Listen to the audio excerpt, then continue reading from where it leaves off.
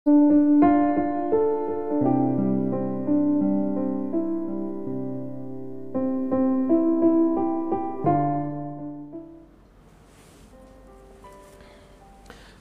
pagi Bapak dan Saudara-saudari yang dikasihi Tuhan Yesus Kristus. Tanpa terasa, kita sudah memasuki bulan yang baru kembali. Bulan Oktober. Itu semua adalah oleh karena berkat Tuhan. Maka untuk itu marilah kita mensyukurinya dengan mendengarkan firman-Nya sebagai kekuatan dan inspirasi bagi kita. Renungan harian HKBP Resort Sutoyo, Jumat 1 Oktober 2021 marilah kita berdoa. Damai sejahtera Allah yang melampaui segala akal dan pikiran, itulah yang menyertai hati Bapak Ibu dan saudara-saudari sekalian di dalam Kristus Yesus Tuhan kita. Amin. Firman Tuhan bagi kita hari ini diambil dari kitab 1 Tesalonika 5 ayat 18. Demikianlah sabda Allah. Mengucap syukurlah dalam segala hal, Sebab itulah yang dikehendaki Allah di dalam Kristus Yesus bagi kamu. Demikian firman Tuhan. Sudahkah kita mengucap syukur? Ibu bapak dan saudara yang dikasihi Tuhan Yesus Kristus, gampang bersyukur bagi Tuhan kalau kita lagi diberkati.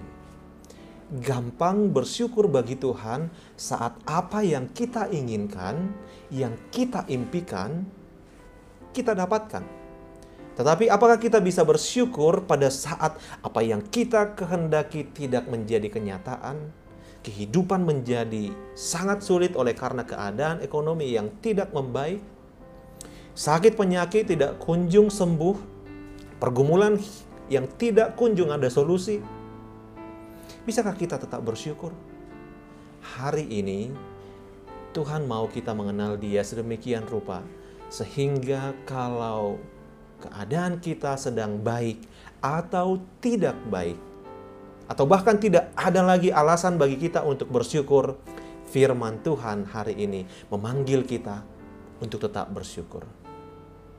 Saudara di dalam Kristus, bersyukur itu adalah ciri utama dari seorang yang percaya kepada Tuhan.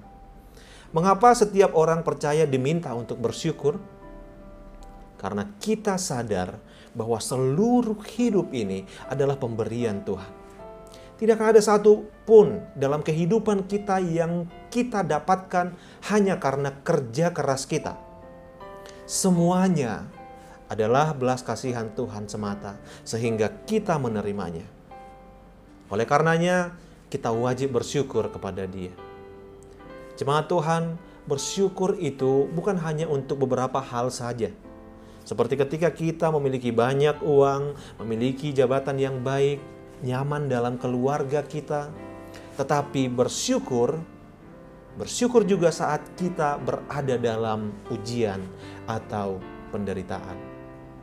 Karena yang Tuhan inginkan sebenarnya, ketika kita menghadapi masalah dan ujian, kita datang kepada Tuhan, semakin dekat dengan Tuhan.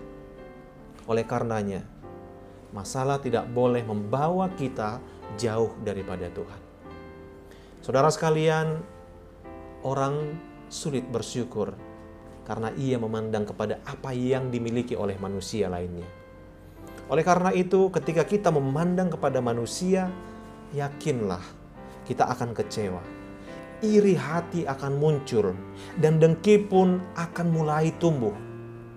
Tetapi ketika kita memandang kepada kasih setia Tuhan yang terus-menerus ada dalam hidup kita, maka kita akan otomatis mengingat untuk bersyukur.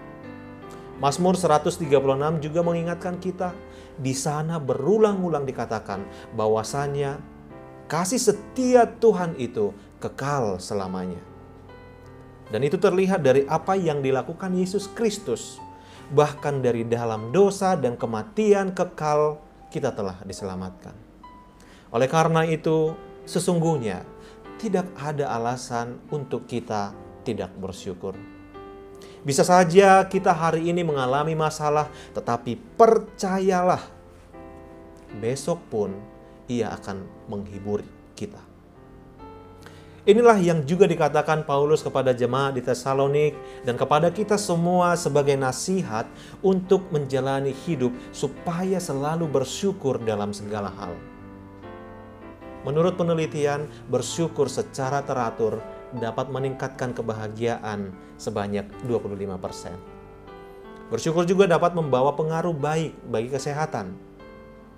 Saudara di dalam Kristus memang tidak mudah mengucap syukur saat berada dalam pergumulan hidup.